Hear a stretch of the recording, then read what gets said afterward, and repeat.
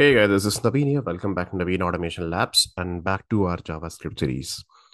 So this session is uh, very interesting. Today we are going to talk about uh, what are the different options with console.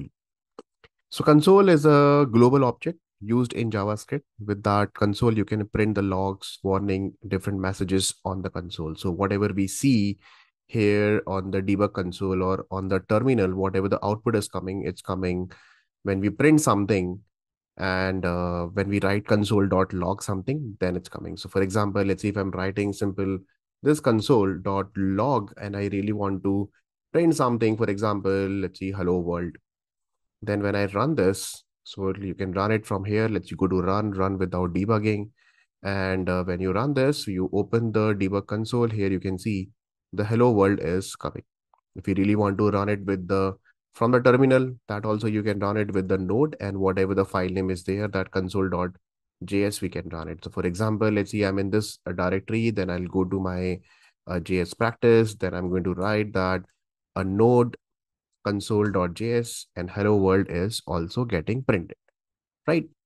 So most of the time developers they use console.log just to print it but there are some really good amazing features available in console with the console, we can use other methods also. So for example, let's see if I really want to use console dot error, I want to print it. So error is also another method. So let's see uh, here I'm saying that uh, let's see some array error, whatever, right? And when we run it again, so let's run it and let's open the console. And here you will see the array error is getting printed in the red color. So it will be easy for me that hello world is a normal log and uh, array error is coming in the red color. So this is a kind of error for me. Same thing if I really want to print console dot warning also, we can do that here. So console dot warn and let's see here I'm printing some uh, warning message that I really want to print. Then in that case, again, I'm running it. So here you can see that some warning is getting also printed in the red color here like that. So log error warning, these are the three important states are there. There is one more console.info also. If I really want to print any specific uh, information on the console, that also you can uh, print it. For example, let's see, I'm writing some basic information that, okay, this is my JS code like this. So then again, I'm running it. This is also printed in the normal way, just like the log is printing it. I'll do one thing. Let me just comment it out. I don't want to print unnecessary things on the console. There are some really nice features also that with the help of uh, uh, console, we can do that. For example, let's say I really want to print an object. So first, let's create an object here. So let's create one object that in JavaScript, we know that we can create the object. Let's see, name is equal to John. So this is one user object that I have created if I really want to print it on the console, generally what we do that console dot log, let's say I'm printing it and then printing with the user and then I'm running it. So see the console output. If I'm logging it, it's giving me that, okay, fine, in this one single line format, tag name, age, and everything. But if I really want to print in the tabular format or in the table format, what I can do here is simple like see console dot a table method. I can use it and supply the object name here. Now you see the difference when I run it. It is actually giving me the format like this. This is so nice that name, age, city, and everything, right? So like this, we can do that. So tomorrow, let's see, I have two objects. Let's see, this is the object number one. And let's see one more user object that I'm creating. Let's see user one here. And the user one is a different. Let's see, I'm printing Lisa. Lisa is 30 and uh, let's see, city is LA and the country is USA. So I can just print two values also in the table, just pass in the curly braces, user, comma, user one, and then closing the curly braces here like that. So I can just see that user one, user and user one I'm printing together. So I don't want to print in the console.log. So let me just comment it out and then let's run it and let's see what kind of table it is creating. So can you see it's a, a very nice table it's creating with the proper uh, tabular format with the row and columns. So it will be easy for me to check the console output that what kind of uh, values are there in a specific object as compared to the previous one, right? So I hope this is clear. Then um, what else we can do here? That grouping also we can do that. So group feature is also like something I really prefer. So for example, let's see, I'll do one thing. Um, let's write one console dot this method I can use it group method and then I really want to print some logs in a particular group. So let's see, this is my uh, login uh, feature, something like this, right? And then I'm printing some messages over here that console dot, let's see, log that I'm printing. And uh, another thing that I'm passing that enter username, password. So three, three things, let's see, I have written after group. So I can create a group here, login feature, and then after that, I can close this particular group. I can end this particular group. So how we do this? Console dot end group method or group end method. Sorry, you can use it here. So you can see group end. And what is the group end? It means this login feature group that you have created, it will be ended here. I'll do one thing. I don't want to print this particular table and let's run it. What is the console output we are getting? So you can see that you can just see collapsing feature is available now login feature this login feature having four important logs are there so it will create like like a sub log under the main log so this is like main heading and four sub logs are there so you can do it like this so this is something really good that you can just combine multiple groups together and then print it on the console now I'll show you that uh, specific uh, console.time also. Let me just comment it out. I don't want to print these things. So timer, or we can say that we really want to measure the time, but how much time it is taking to complete a specific task. So for example, that I can start the timer here, that console.time method, I can use it. And let's see, I really want to perform some task here.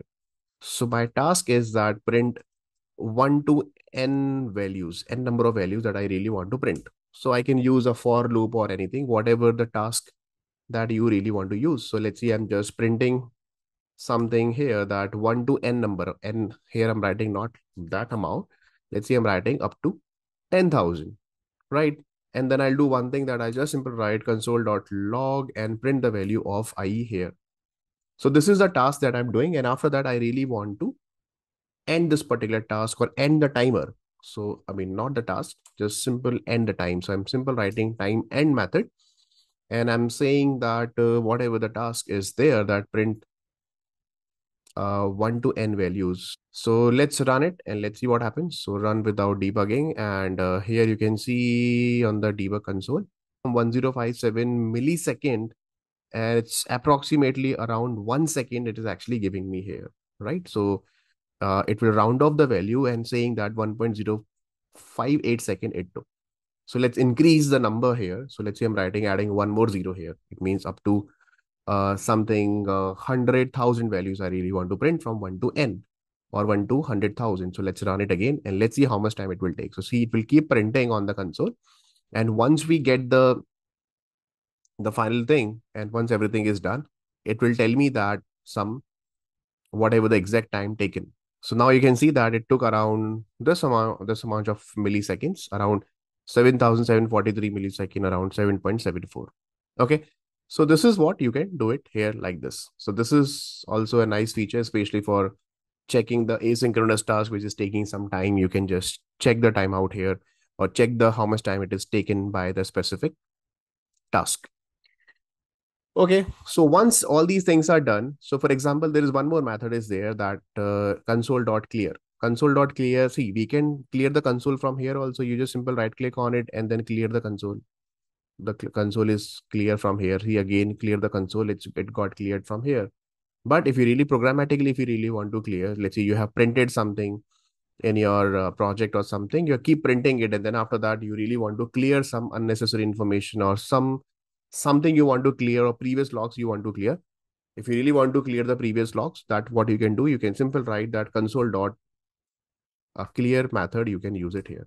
So for example, let's see, before that, I'm just printing that it will automatically clear. So first it will print this and then it will clear. So it will be very fast although, but uh, let's see. See console was cleared. So it is actually printing reset password, but actually got cleared, right? So programmatically also you can clear it. Then uh, couple of other methods also, let's see console.count method also you can use it here. So for example, I'm writing that console.account. Let's say I'm printing the reset password and I'm printing this message a couple of times. Let's see, uh, one more time, three times. Let's see, I have printed. Then I'm running it again. So console dot uh, count, it will tell you that uh, logs the number of times that console dot count has been called. Okay, with a specific label. So it says that, okay, reset password one, two, and three. You can see it here. It will give the counter here like this. So if you really want to print with the counter number, that also you can do it here. Okay. Then there is another method that you can write the assertions also with the console. So there is one method that they have given, assert method. And in assert method, you can write a condition. For example, I'm putting a condition that if 10 is equal to equal to 20, so obviously 10 is not equal to 20, then I want to print an error message, right? So I'm saying this is failed. So this error message or this message will be printed only once the assertion is getting failed. See, I'm running it. So here you can see this is failed, assertion failed. But if I'm making 10 is equal to a 10, then I'm running it again. It's not printing this message because assertion got passed here, right? And I'm writing, let's see, let flag is equal to true. Okay. And then I'm checking this uh, flag value here directly. I'm passing the flag here, which is actually true. So if it is true, then assertion passed, no need to print the message. See, it's not printing it. But uh, let's see, this flag is getting false and I'm running it again. Then in that case, it says this is failed. This is failed like that, right? So assertion also, you can do it. then after that, tracing is also uh, something interesting. Let's see, there is a function you want to trace, just like in other programming languages like Java, we have print stack trace. So tracing of a specific method also, you can check it that from where it got executed and then give me the complete execution stack of the of that particular method. So what we can do, let's see, create a function here. Let's say I'm creating a function and the function, let's see, I'm writing the method name is uh, test my job function. Okay. And this test my job function, I just need to write one thing here that console dot trace method is there. That's it. I want to trace this particular function. And uh, after this, I'll just call this method now, the test my job. So see, I'm calling from here, from line number 39, then it will go to line number 36, and then it will give me the complete tracing information about this particular method. So let's run it and let's see. So here you can see that uh, console.trace is giving me trace from here. You can see that from line number 39, you actually reaching at line number uh, 37, that console.trace, it's coming here. Right. So complete stack trace it's giving here like this, just like we do give it, uh, we get it in uh, Java and other languages like C Sharp also. Exactly same thing. You can trace it also. Sometimes it's really useful for the debugging point of view. You can use that. So there is one more thing in the console we can do, like we can just print a CSS also, like we can use the CSS while printing anything. Like if you really want to print that particular message on the console or any information on the console in the colorful console or something like a bold color or some background color you really want to set, you can do it. Some special information you really want to emphasize or some welcome message on the console you really want to use it, you can use it. How to do this? See, it's pretty simple. Uh, console.log, you simply write it here. And then here, first you start with double quote and then start with modulus C, or you can say percentage C here. This C is saying that this is a CSS selector that we have to apply and whatever the message that you really want to use it here. So for example, let's see, I'm writing that I uh, love JavaScript uh, coding, something like this. Let's say I really want to print. Okay, like this. And then after that, you have to give the other information for the CSS selector point of view. So let's say I'm writing in the new line that I'm saying that the color should be the red color. Okay. And then put a semicolon here. And then I want that background color. So this is what a CSS that I'm defining. The background uh, should be, let's see, something I'm writing a green color. Then again, semicolon. And then what will be, let's see, the border. The border that I'm writing, that border should be a solid border. So it will be like solid red color border that I really want to use it here. Okay. And then starting bracket and ending bracket here. Okay. So let's run it and let's see how exactly it works. So run without debugging and uh, open the console here, the debug console. Can you see it's coming like this? I love JavaScript coding, right? So the background color is green. You can see and it's printing it. So if I change the background color to red, you can change it to the color that you want and then run it again. Now you can see that it's coming like this. Actually, C-O-L-O-R, we have to write it here and then run it again. Okay, now you can see the color is green and the background is red here. Okay, that was a type of mistake from my side. Right, so let's see if I'm writing any light blue color. That also you can write it. Let's see light blue color and uh, the background color and the actual font color will be in the red color. So that also we can do it. So here I'm writing red color and run it. So you can see that the background is little like light blue and the font is with the red color. Like anyways like whatever the combination that you want to write it's up to you. You can write it here. Same thing let's see if i really run this particular script. So let's go to the browser and if i run all the scripts whatever that today we have seen you can run it directly here also in the browser. So simple go to the console here and see here i'm using the same script and it's giving me the same thing here.